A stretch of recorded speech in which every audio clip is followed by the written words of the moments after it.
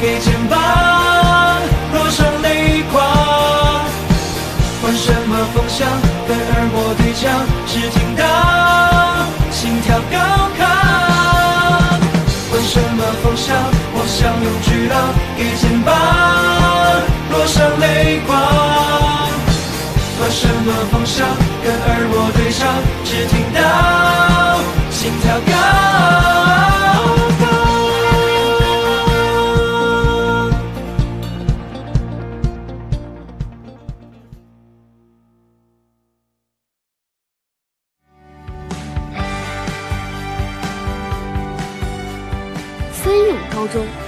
直在海文市重点中学中排名前三，拥有两大校区，分别是体育特长的南校和专攻文化课的北校，双方各有所长。但哎，你往哪儿扫呢你？谁叫你们南校的垃圾多，你们北校垃圾才多？你们没素质！你说谁没素质呢？说你呢！你再说一句，我们北校的学生向来成绩优异，升学率遥遥领先。他们体育生体格强健，在运动场上也是奋勇拼搏。可是，一山不容二虎，所以咱们北校区的文化生向来瞧不起头脑简单、四肢发达的体育生。体育生也是文化生为学习的机器，老师的傀儡，两方水火不容。不至于吧，韩雅一班长，他只是去南校拿个手册，他们能怎么样？博儿，你是不知道，班长最好祈祷不要遇到大魔王和他身边那几个人。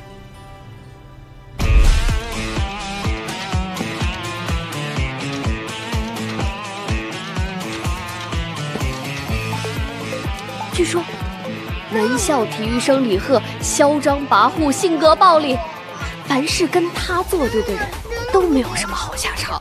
不过，李贺他们凭什么这么猖狂啊？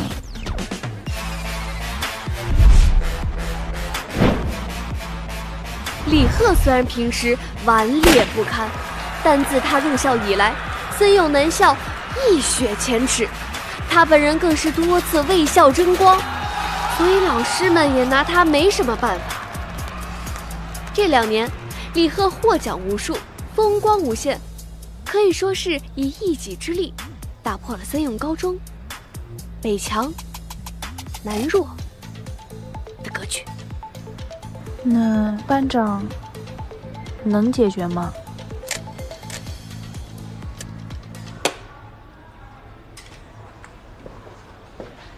雨神，你去哪儿啊？马上上课了。不用担心他，他就算旷课，老师也不会说他的。谁叫他闭着眼睛都能考第一呢？加油！加油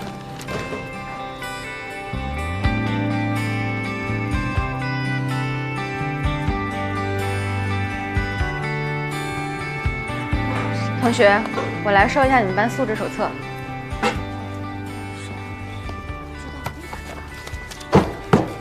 一共二十本，二十本，你们班不是二十四个人吗？差哪四个，你们应该知道的呀。张野，赶紧的，不等你了。你的师弟。可以吗。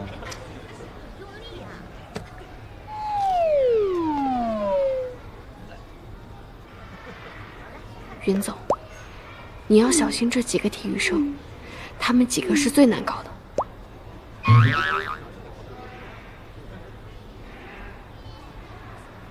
佳瑶啊，这把再输你真的。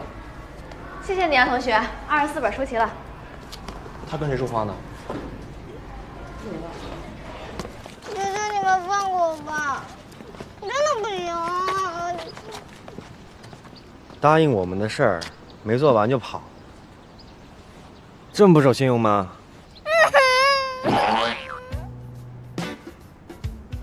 哎，大哥，大哥，你怎么哭了呀，大哥？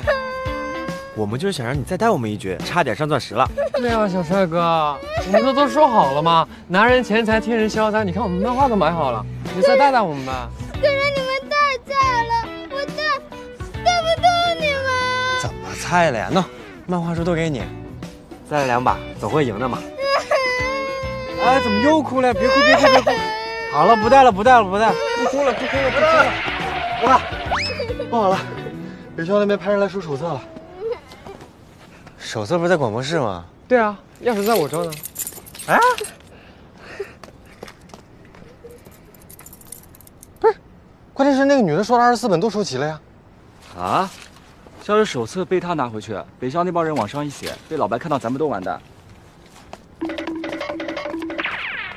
北校这次谁来啊？一个女的，还还挺眼熟。女的啊？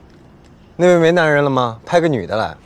这一次应该是二班写评语，如果我没猜错的话，应该是二班班长袁彩希。我我知道袁彩希嘛，就是每年就是开学的时候都在那个发言台上发言的那个。没说完呢，别岔嘴。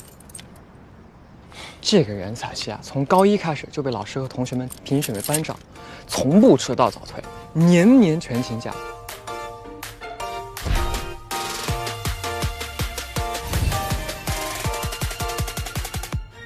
我听说。他从不参与除了学习以外的任何活动，迟到早退什么的根本不可能。一进教室就开始刷题，好像是有过一个星期就刷完了一学年数学习题的恐怖记录。因为集美貌与才华于一身，很多男生被他深深吸引，给他的信就从来没有断过。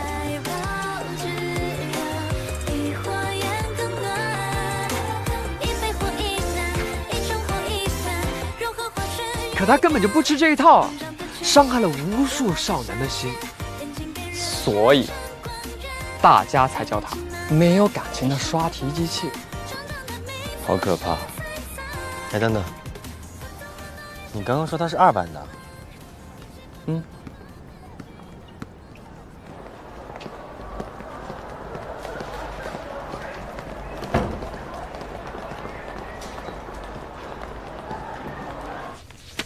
吓死了！这不都在吗？哎，小祥子，谎报军情，该当何罪？啊？那女同学说的收走了呀？女同学？哪来的女同学？好了好了好了，我就说嘛，藏这么隐秘，怎么可能有人能发现？这不就发现了？你你怎么知道我们藏这儿的？你们体育生的据点不外乎那几个。主席台、器材室、广播室。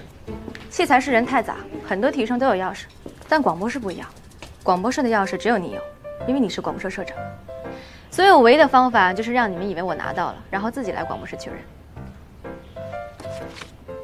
谢谢李同学，人真好。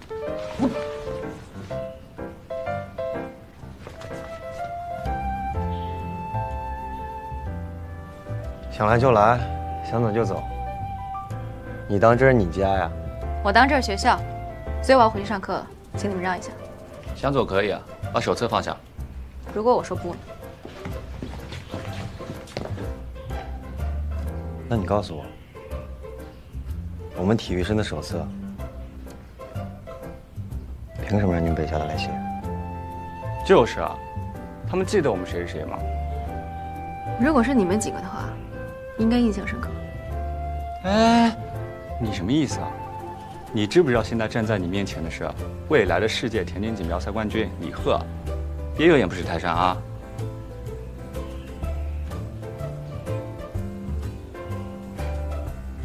好，那我也告诉你，现在站在你面前的是上自习马上要迟到的学生，所以我没有功夫搭理你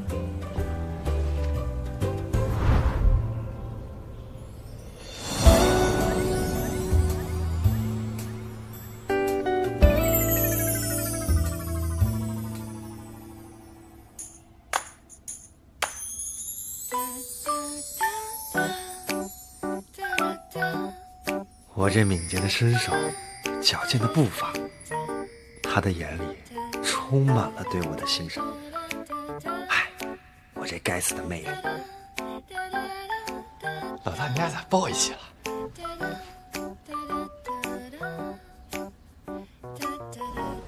闭嘴，别乱说话，这哪有抱一起啊？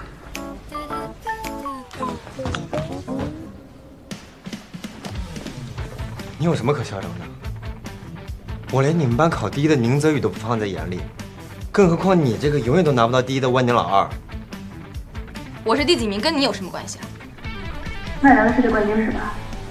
那我提醒你一下，如果有一天你拿奖的时候，记得换件衣服，要不然别人会以为你得了世界蠢货冠军。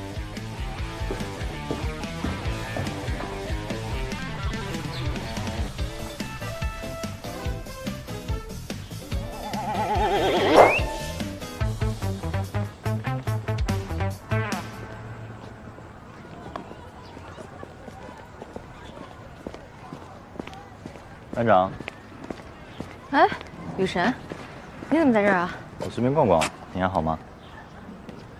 挺好的呀，有什么不好的？你怎么去广播室了？哎呀，我……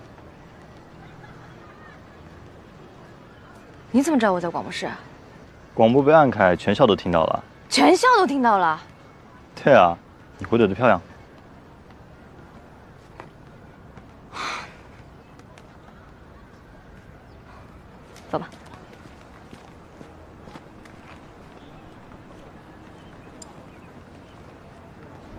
说他是万年老二，是我以前还没发现呢。可个全校男孩，班长，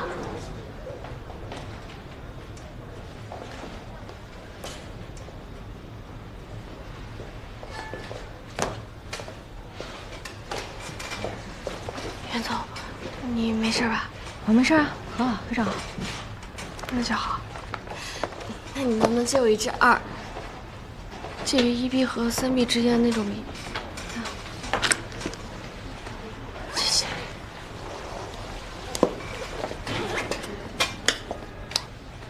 为什么办人家？啊？现在还会欺负女生了是吗？老大，我就是气不过。你看他那副不把我们放在眼里的样子。再说了，你救了他，他还说你是什么蠢货冠军，你就不生气吗？生气归生气，但咱是男人，咱得大度，明白吗？明白了。怎么样？查到没？什么意思啊？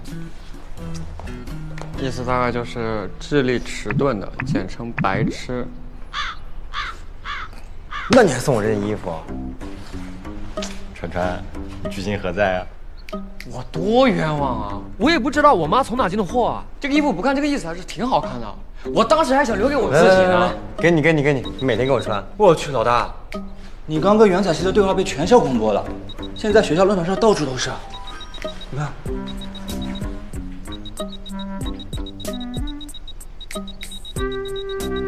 太气人了！北校那帮书呆子在上面嘲讽我们，说什么你连袁彩希一个女生都搞不定，还说连宁泽宇一个小拇指都比不上。这宁泽宇谁啊？他有我们老大跑得快吗？老大，没事，别往心里去。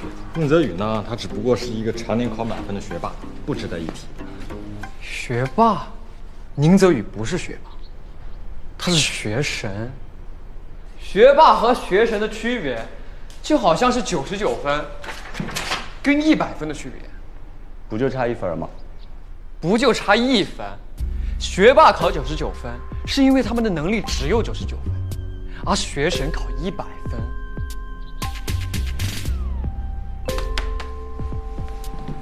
是因为这个卷子只有一百分。行了，什么学霸学神啊？宁泽宇就一普通高中生，那个万年老二也是一样的，撑死比咱会读书。咱们比他们还会跑步，怕什么？有什么了不起？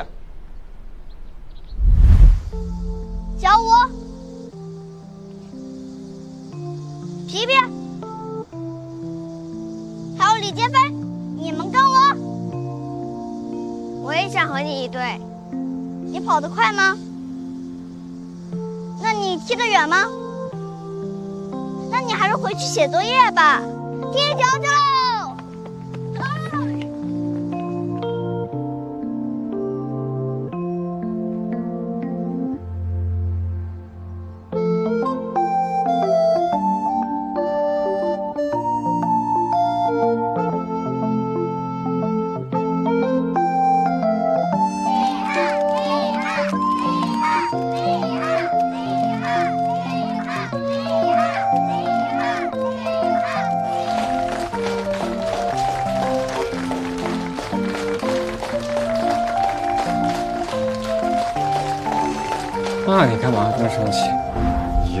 个神，一个是学霸，比不过呀。咱们还是想想怎么把面子找回来。怎么跟你说的？那都是些纸老虎，拉到操场上练练，肯定都露馅。怎么放操场？傻不傻？下午不就体测了？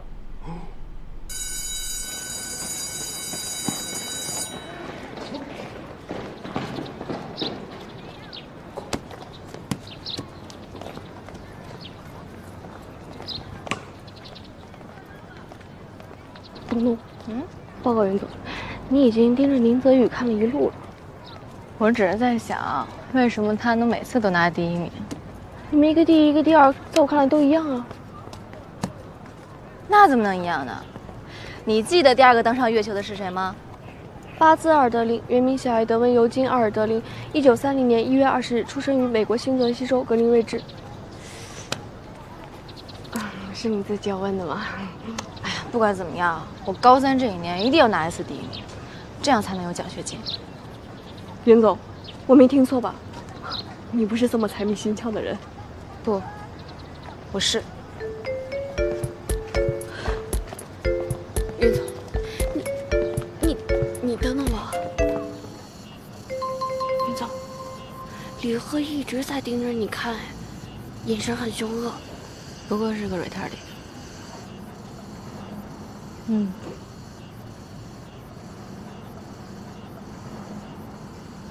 老大，原才是一直盯着你看。哼，可能我长得帅吧。老大，按照我们计划进行吗？嗯，机灵点啊。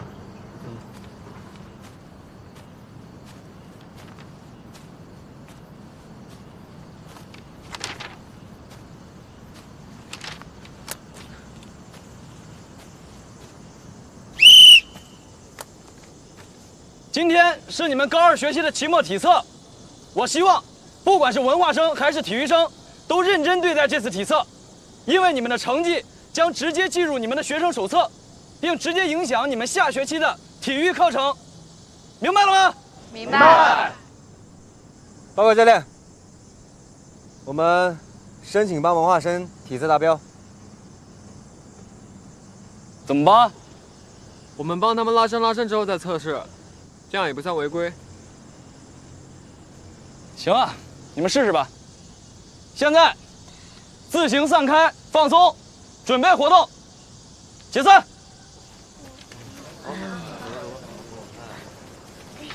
你们想干嘛？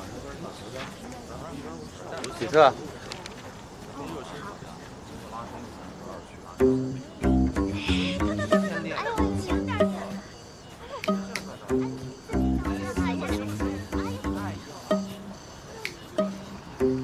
你干嘛？我警告你啊，我不用你帮我。同学，没有帮忙你能达标吗？有你帮忙，我更达不了标。走开。哎！你干嘛？故意的吧？你叫潘浩是吧？我来帮帮你。同学，运动的时候分心呀，手会受伤的。准备好了吗？揍你！揍你！揍你！可以吗？别憋了，脸都憋红了，再憋撅过去了。我不，我行，我可以，我不疼。你小子还挺软。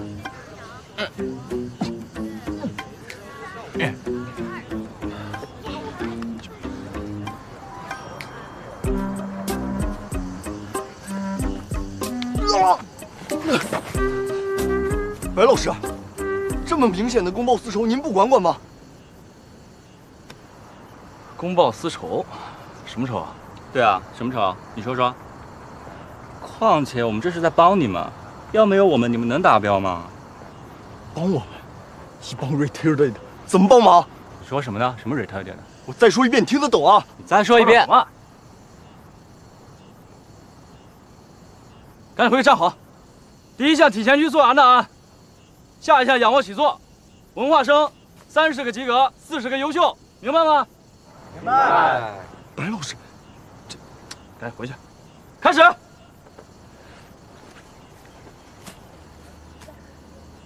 白教练，领导们都到了，马主任喊你赶紧过去。啊，二，李贺，哎，一会儿你收拾下记录啊。好，来吧，老二。放心，我是专业的。快点儿！来就来，谁怕谁啊？一、二，不要准还是二？二，再来一遍还是二？二，哎，我发现你对二挺有缘啊！快点！故意整我是吧？是你对二情有独钟。行，快点！你接着数。二，开心点。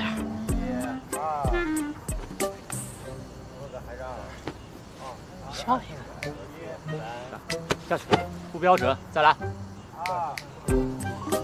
一、二，不标准还是二？二，再来一遍还是二？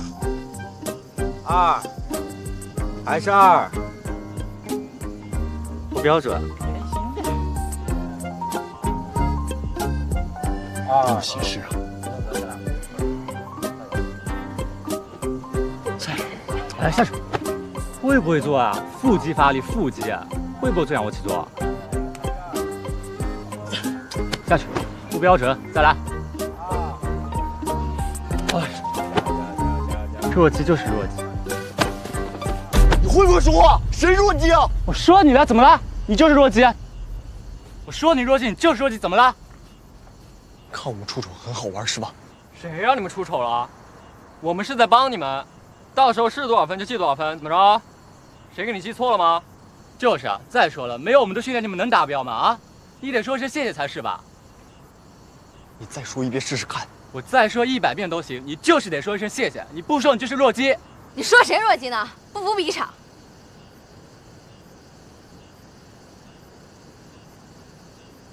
你一个女孩子，我不跟你比，回头说我欺负人。那我跟你们比。好，比什么？你说比什么，我都奉陪。各位同学们，大家好，欢迎来到森永高中杯文体躲避球大战。现在文化生和体育生已经分别站好了两队，比赛即将开始。双方球员各就各位，加油！你一个女生就别上了吧。换男生来，女生怎么了？女生不行吗？行。要比如我们欺负你，还 OK 吗？OK 的，可以。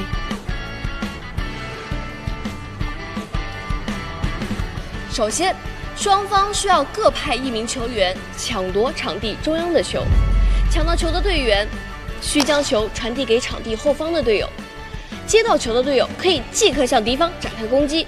在比赛的过程中，如果不幸被球砸中，则即可淘汰。当一方队员全部淘汰的时候，比赛结束。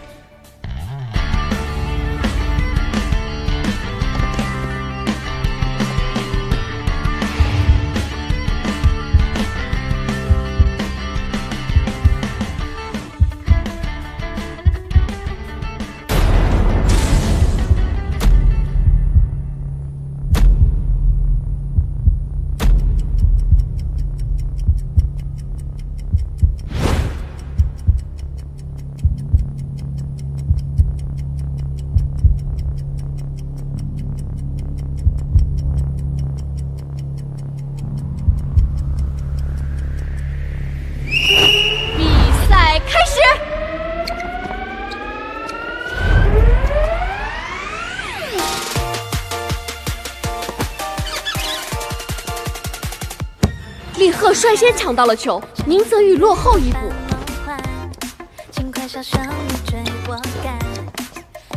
体育生江源抢先展开攻击，袁彩希躲过了一球，并进行了反击。宁泽宇瞄准李贺，迅猛出手，李贺也从林川手里接过了球，用力砸向宁泽宇。潘浩从后方冲出来，对李贺发起了攻击，李贺一个后仰，漂亮躲过。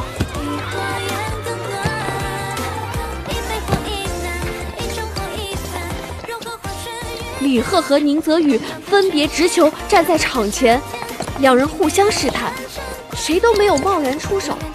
袁彩希上前支援宁泽宇，李贺陷入劣势。林川见状也上前加入了战局。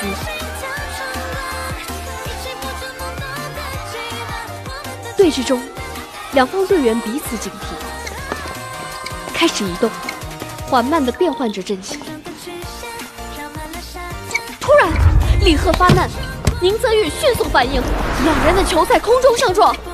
林川和袁彩希相继出手，李贺、宁泽宇分别躲过了攻击。体育生再次发起了进攻。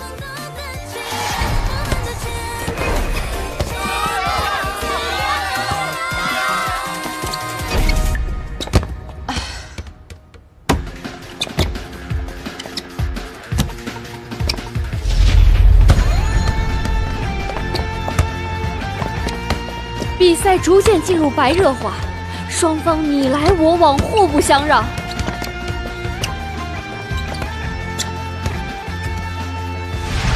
潘浩的头被砸中了，根据规则击中头不算。林泽宇趁机从侧面发起了进攻，李贺一个灵活转身接住了球，立刻砸向了潘浩。潘浩被砸中了腿，摔倒在地。他还没来得及反击，就已经被淘汰了。文化生损失了一名队员。袁彩希、宁泽宇默契地对视了一眼，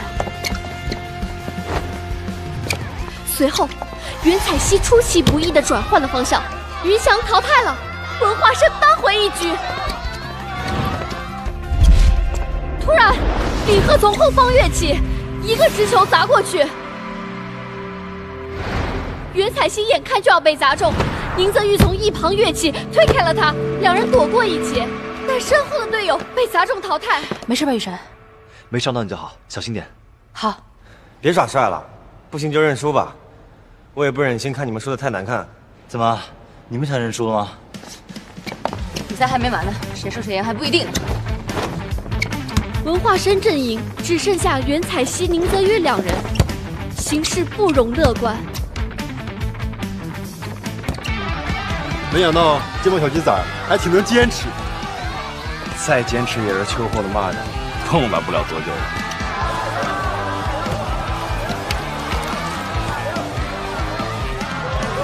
袁彩希拿球寻找机会，江源摔倒了。袁彩希看准机会出手，江源被砸中。嗯，这怎么一滩水啊？谁撒的？哎，被打中了就淘汰，找什么理由啊？没看这一滩水吗？这一管好打不算啊？不算。他被打中了，不该被淘汰吗？赢不了就玩阴的。刚刚是你趁他没注意洒水吧？你有证据吗？你凭什么这么说？证据？做错事还不敢承认，说要比赛的是你们，现在比不赢耍帅的还是你们。我算是发现了，你们学习好的没一个要脸的。再给我说一遍，你说谁不要脸了？要说你说一个，一个，有没有被打中？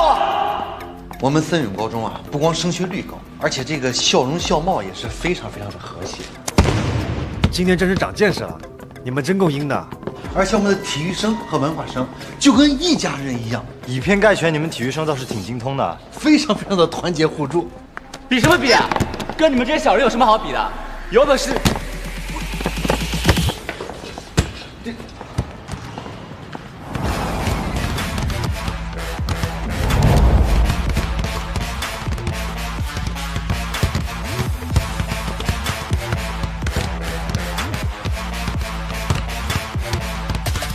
怎么，开始欺负女生了？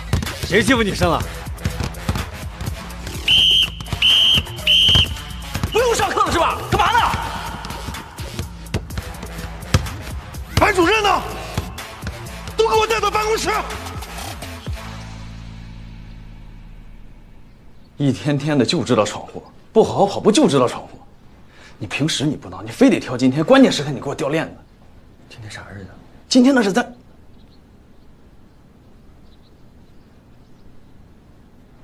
不管哪天也不是你能闯祸的日子呀，老白，这事儿不能怪我们，是他们文化生先挑衅的。文化生怎么挑衅你了？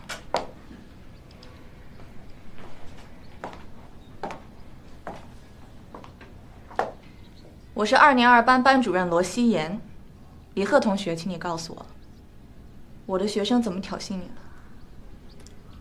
文化生他们用英语开我们玩笑，我们气不过，我们就出了一道难题给他们，谁知道就吵起来了。是这样的吗？你们起的头？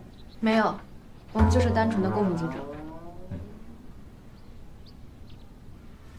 我的学生我最了解，袁彩希和宁泽宇，绝对不是挑头的人。所以李贺同学，这中间肯定是有什么环节你无意中，或者是刻意遗漏了。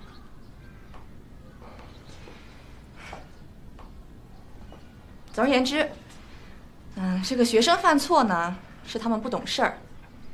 可是老师没有教好，就是老师失职。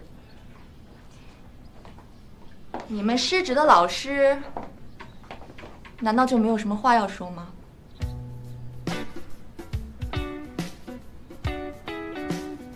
来，教练。失职啊，马主任，我是觉得这个事儿啊，不能完全算我失职，毕竟每个学生啊，他都有调皮捣蛋的时候，他们也不过就是……好了好了，都说完了吧？你们三个人回去给我写一千五百字检讨，明天一早交到我桌上来。检讨，我都知道。道个歉完事儿了呗，嫌少是吧？两千字。愣着干什么？赶紧回去写呀！太多了。教练再见。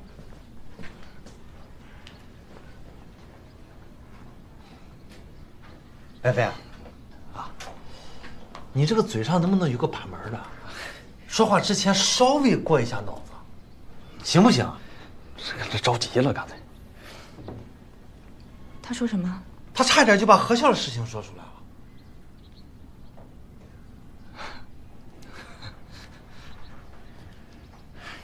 不过马主任，我们真的要合校吗？是啊，马主任，我觉得这个事儿也不妥。文化生跟体育生本质上就是不一样的，这怎么能合在一个班上课呢？这要是合到一个班上课，那天天都跟今天似的，那不得天天打架呀？不管打还是不打，都得合校。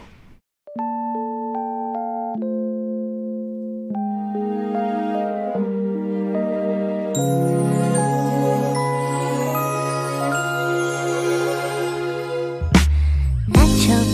小心打个喷嚏，我才没有偷偷在想你。你蛮横无理吞噬掉我的冷静，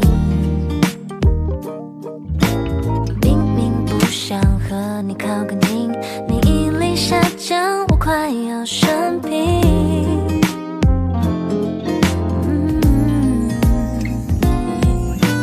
那就是谁偷偷在想我？你脸上的又多了几个？遇见你之后，世界变成粉红色。口不择言的我开始胡编乱着，心跳符合你渐长渐弱。